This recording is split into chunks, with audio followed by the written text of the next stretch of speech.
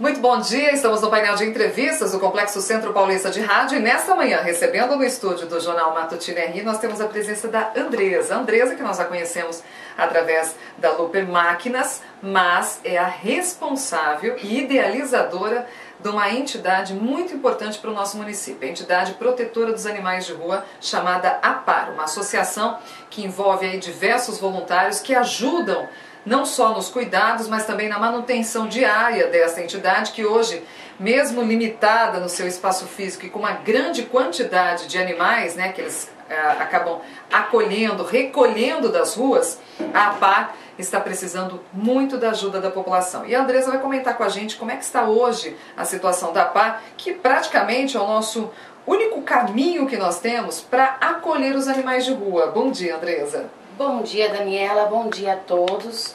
É, obrigada pela oportunidade de estar aqui vindo falar com a população da nossa cidade. O fato é, a APAR precisa de socorro e é com urgência. Nós estamos precisando de ração, o trato dos animais, que é fundamental para a continuidade do nosso trabalho. Então eu vim aqui pedir àqueles admiradores, os colaboradores, os simpatizantes pela causa, que nos ajudem, nos ajudem no que puder, como puder, doando ração.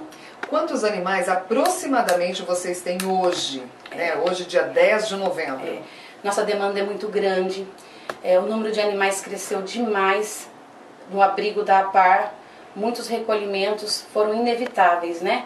E enfim, Daniela, eu posso garantir para você que entre cães e gatos nós já passamos dos 200 faz tempo. Nossa, mais de 200 animais? É uma tonelada e meia de ração consumida mensalmente hoje no abrigo. Mensalmente? Mensalmente. Entre adultos e filhotes, cães e gatos é uma tonelada e meia de ração todo mês. E essa quantidade que você disse que cresceu muito nesse último ano, que a gente estava conversando aqui em off, você tem uma, uma razão, você reconhece alguma coisa que se justifica o abandono desses animais nas ruas, Andressa?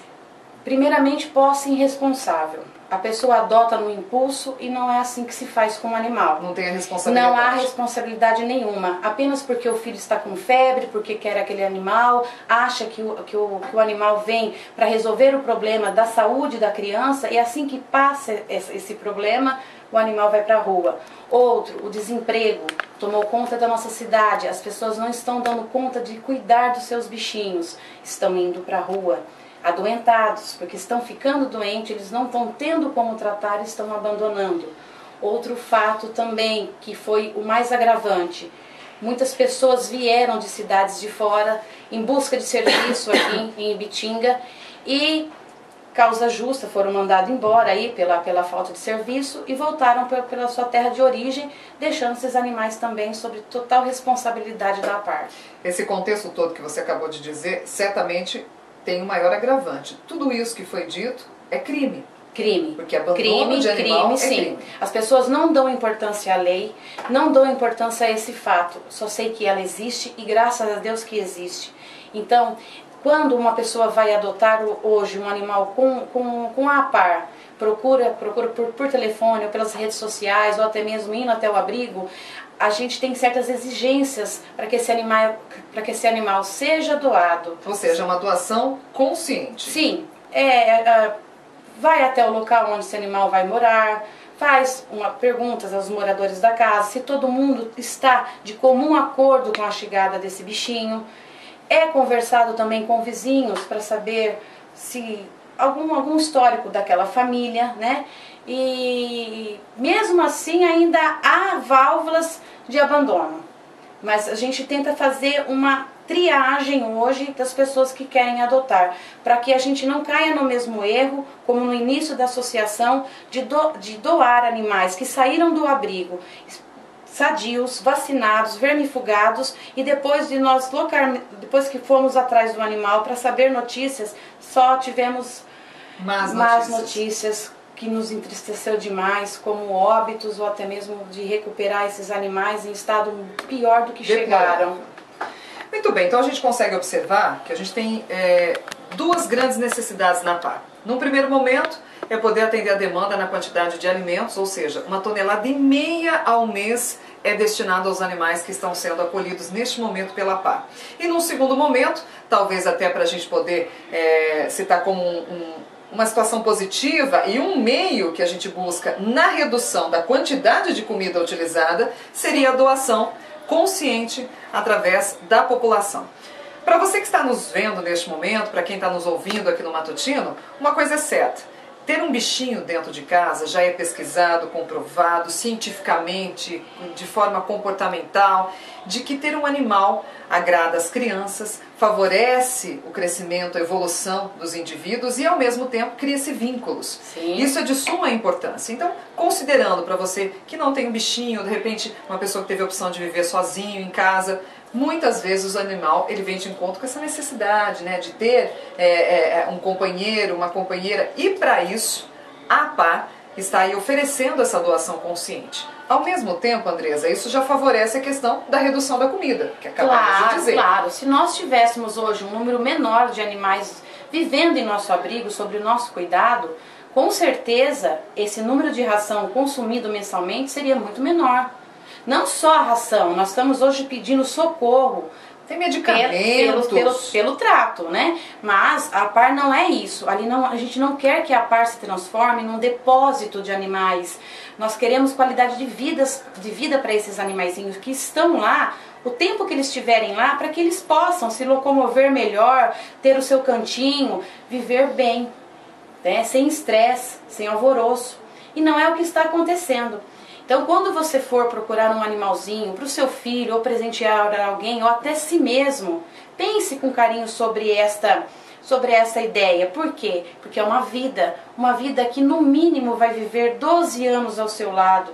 12 anos de muita alegria, isso eu posso garantir. Não, sem dúvida. Mas também de gastos.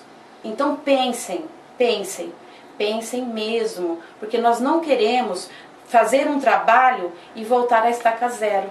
Perfeito, né? perfeito.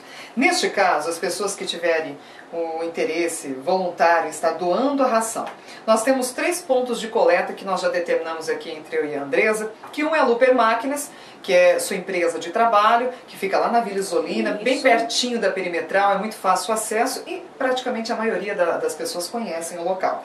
Também um outro ponto é o Bichão Casa de Ração, lá da Rua 6 da Vila Maria, também um ponto comercial bastante conhecido no mundo pet, onde as pessoas realmente Isso. adquirem rações, e, é um pessoal muito bacana que está de encontro, né? Sim, é Abraçando é essa também, casa voluntária. Da Para, Patrícia. E temos aqui o prédio, né, a recepção das emissoras do CCPR também à disposição para coletar esse alimento, ou seja, a ração.